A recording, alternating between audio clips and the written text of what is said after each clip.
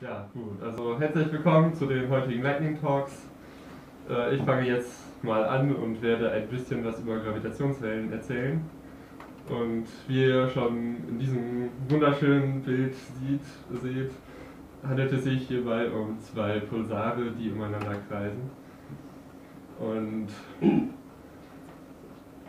dadurch, dass die allgemeine Relativitätstheorie mit dem Problem, das die Gravitation von Newton hatte, aufräumt, nämlich dass eine Be äh, Veränderung der Position der Körper instantan dazu führen müsste, dass sich auch das Gravitationsfeld ändert.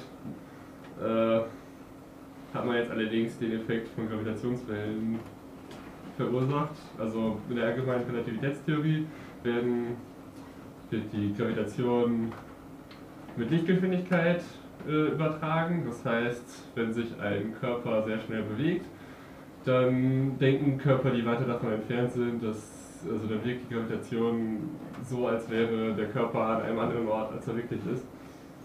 Und wenn dann zwei Körper umeinander kreisen, dann kommt es auch gerne mal zu dem äh, Effekt, dass sich dann eben, also dann bildet sich, also aus also ich denke, wenn man sich das hier anguckt, kann man sich ungefähr vorstellen, dass sich so diese Gravitation ausbreitet.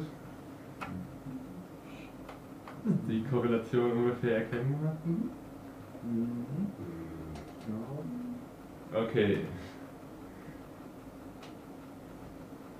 Äh, genau. Und Gravitationswellen haben einige Eigenschaften, die man dann versucht zu messen.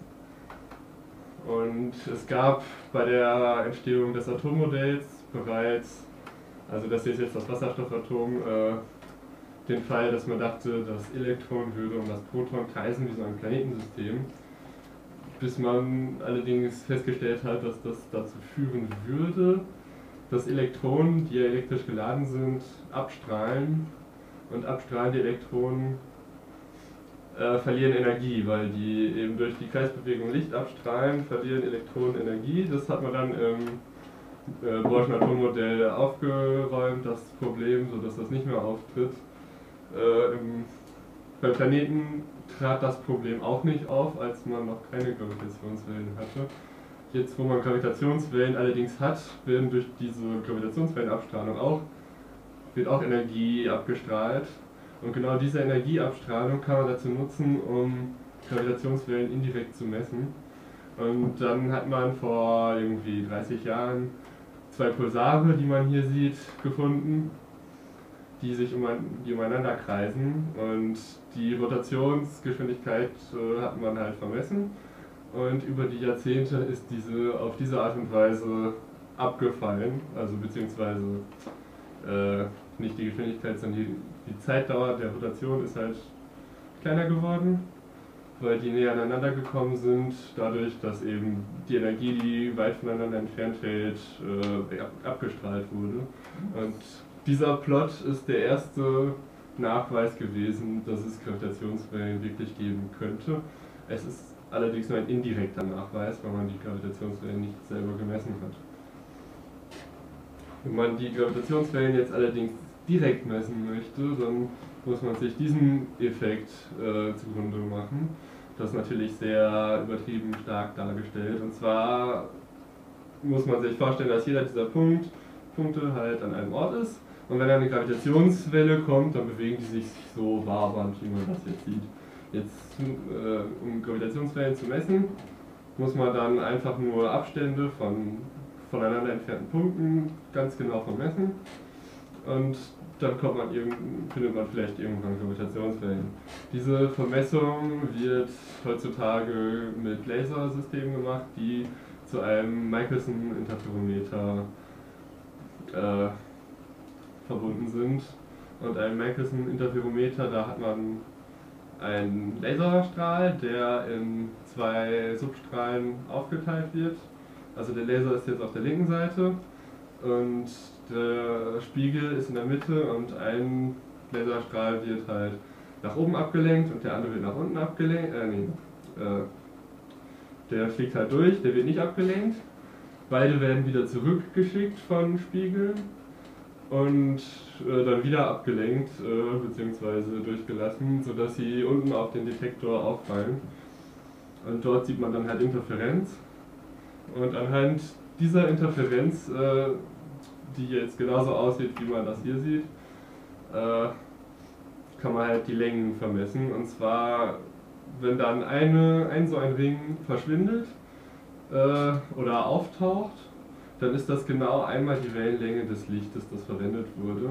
Und auf diese Art und Weise kann man dann auch über sehr große Entfernungen sehr genau Längenänderungen vermessen. Und genau das wird auch bei Gravitationswellen eingesetzt.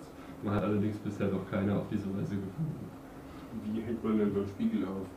Du musst ja den, du musst ja die, du musst ja den Abstand von, äh, vom, zu den Spiegeln, oder? Also man misst äh, im Prinzip nur die Änderungen des Abstandes. Das heißt, Die- der Abstand ja, am Anfang ist völlig ja, egal. Du musst ja die, die, es geht ja darum, die Lichtquelle und den Detektor und den halbdurchlässigen Spiegel kannst du ja relativ nah bei dir haben. Und die beiden anderen Spiegel packst du irgendwo möglichst weit weg, um möglichst große Strecke zu haben, die du misst, oder? Ja, Gut. Und wie hängt man die Dinger dann auf? die packen wir einfach irgendwo hin.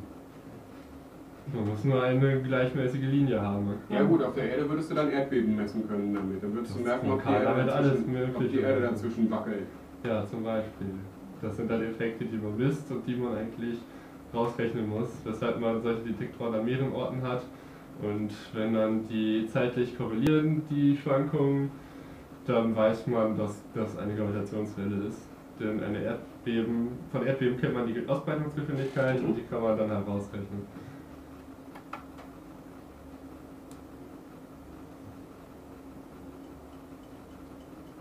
Okay.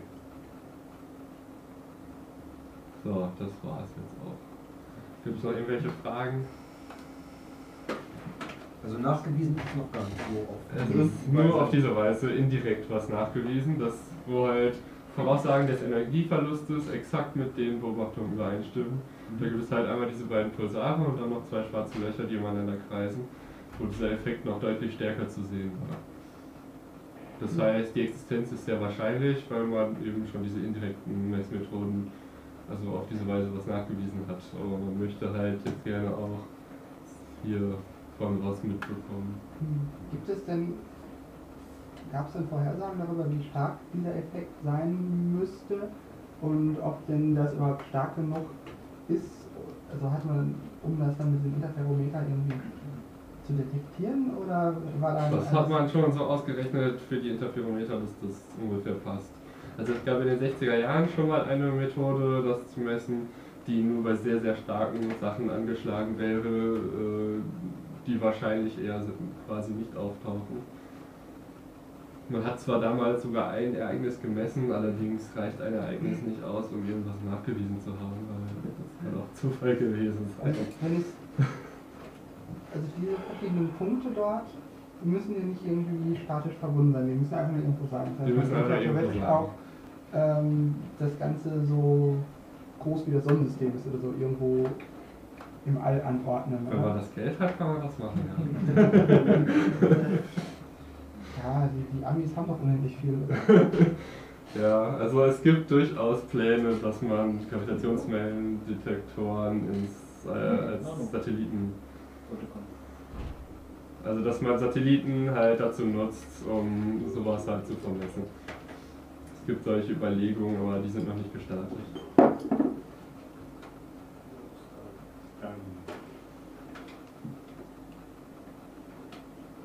Was für Dinge wären denn das, die uns nah genug, die der Erde nah genug kommen, dass man die Gravita deren Gravitationswellen hier messen könnte? Ja, das sind in der Regel immer Doppelsterne, die man am ehesten misst, weil da der Effekt am größten ist. Beziehungsweise, wenn supermassive schwarze Löcher direkt nebeneinander sind und sich umkreisen, dann wäre wahrscheinlich, egal wie weit die weg sind, der Effekt immer noch am stärksten. Aber die kann man ja dann gar nicht direkt durch diese Laseranordnung messen, oder? Doch, das ist das. Doch, sie verzerren, den- sie verzerren den Raum. Genau. Ach so. Sie verzerren, sie verzerren Ja. komplett den Raum. Und äh, wenn der Effekt dann auch hier noch stark genug ist, dann könnte man das eventuell messen. Das ist der Plan. Was für eine Energieform wäre das, in der das, abstrahlt? Also die Idee ist, die völlig hypothetisch ist, dass es sich um Quasiteilchen handelt, die man Gravitonen nennt, in der die Energie vorliegt. Gravitonen sind quasi das Äquivalent wie zu Photonen. Bei Photonen, da kennt man ja auch, äh, also das, die elektromagnetische Wechselwirkung, die wird ja durch Photonen übertragen, durch Quasiphotonen. Äh, und die elektromagnetische Welle, das sind dann die messbaren Photonen. Und so denkt man sich das bei Gravitation auch, dass die durch quasi äh, übertragen wird. Und das, was man dann wirklich messen würde als Welle, das wären dann die nicht quasi Teilchen, sondern die real existierenden Gravitonen.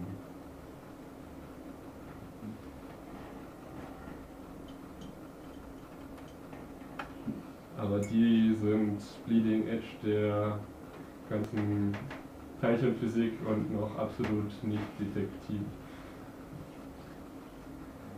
Da ist die Wahrscheinlichkeit, dass das Higgs-Boson gefunden wurde, größer. Die liegt ja ungefähr irgendwie bei 99 Prozent. Bei dem Higgs-Boson. damit das gemessen ist, muss man eine Sicherheit haben von 99,9999 Prozent, dass das wirklich dieses Teilchen ist. Also wirklich auf sechs Stellen genau.